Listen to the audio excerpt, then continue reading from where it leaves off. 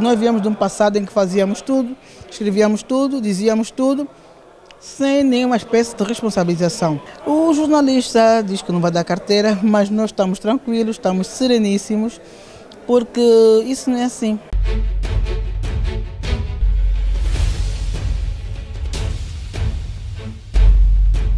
Recentemente, a Comissão da Carteira e Ética suspendeu a carteira profissional do jornalista Carlos Alberto, do portal A Denúncia, por um período de três meses, por indícios de violação da ética e de ontologia profissional. Até ao momento, o jornalista recusa-se a entregar a carteira. Falando em exclusivo à TV Uraga, a presidente da Comissão da Carteira e Ética afirmou categoricamente que o profissional foi contactado e diz ter provas. O jornalista foi sancionado por ter desobedecido à Comissão da Carteira e Ética e em função do processo lá esteve. Portanto, foi sancionado com três meses de suspensão e a lei lhe dá o direito de recorrer. O jornalista não recorreu, Uh, alega não ter recebido as notificações, mas naturalmente nós temos provas de que ele recebeu as notificações, ou pelo menos de que as notificações foram encaminhadas. E tanto é assim que a deliberação foi dia 3 de maio, e só depois de muitos dias é que nós conseguimos torná-la pública, porque fazíamos questão de que ele, o jornalista no caso, embora não exista uma obrigação legal, mas repito, fazíamos questão de que o jornalista tomasse conhecimento da deliberação antes da sua publicação, da sua mediatização.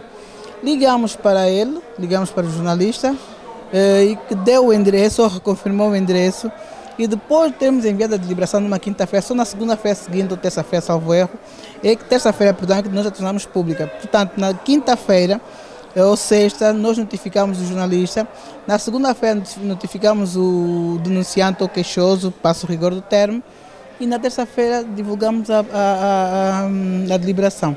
Na sua conta do Facebook, o jornalista disse ter se percebido da deliberação nas redes sociais e considera a decisão da comissão nula. A responsável da Comissão da Carteira e Ética explica os meandros das convocatórias enviadas ao diretor do portal A Denúncia. As duas notificações foram enviadas, foram enviadas de forma física e a terceira as, as convocatórias, perdão, a terceira convocatória foi via eletrônica. Por quê? Porque nós fomos muitas vezes lá ao portal, ou o endereço do portal. Eu, por acaso, estive na inauguração, fui convidada pelo Carlos Alberto e não estava. Eu, inclusive, porque os colegas foram várias, fizeram várias demarches, fui lá uma das vezes e o guarda assegurou-me que nunca mais tinha visto ninguém do portal de denúncia. Quando adotamos a, a deliberação, o mesmo procedimento, mas estando praxe de consideração para toda a de um colega nosso. Fomos lá várias vezes, não foram duas nem três, foram mais, e o jornalista não estava. É evidente, se ele não está, o facto dele não tomar conhecimento não nos impede de divulgarmos a deliberação. Ainda assim, ligamos novamente para o Carlos Alberto e o Carlos Alberto deu o endereço eletrônico. Se não tivesse recebido alguma coisa, não respondeu, é verdade, mas enviamos.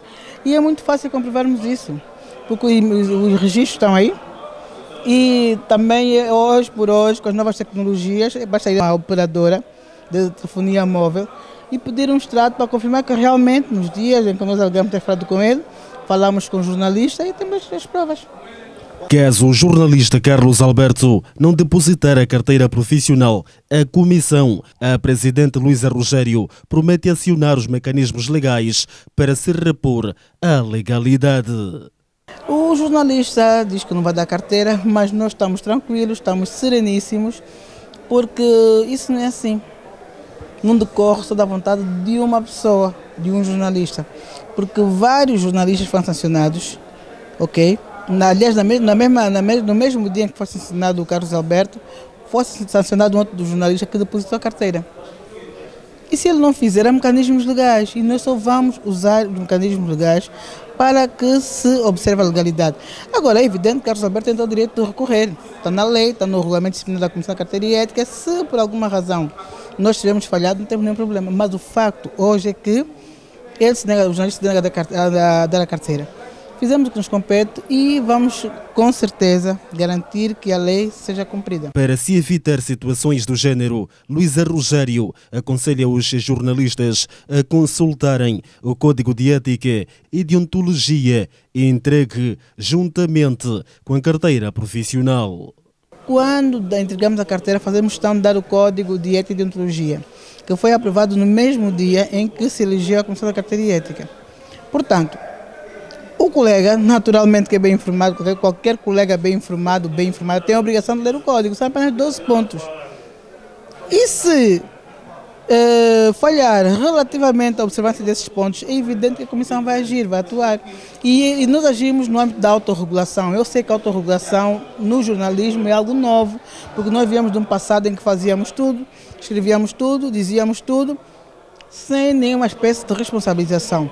Mas eu acho que a responsabilização no âmbito da classe, que é disciplinar, e aí onde intervém a Comissão da Carteira Ética, é uma forma também de, de evitarmos outro tipo de conflitos. Estes dedos foram avançados à margem do 31º aniversário do Sindicato dos Jornalistas Angolanos, que foi comemorado esta terça-feira, 28 de março.